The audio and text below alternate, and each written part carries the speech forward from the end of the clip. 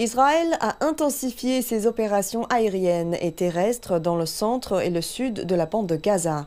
Le ministre israélien de la Défense, Yoav Galan, affirme que la campagne militaire est désormais menée de manière plus ciblée.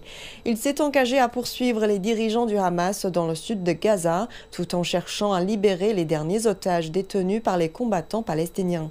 Il a également déclaré qu'après le conflit, la bande de Gaza serait gérée par des organes palestiniens tant qu'il n'y aura pas de menace pour Israël. D'autre part, le secrétaire d'État des États-Unis Anthony Blinken effectue une visite au Moyen-Orient. Washington précise que ce déplacement a pour but d'empêcher l'extension du conflit. Dans la bande de Gaza, on a dénombré 125 morts en 24 heures.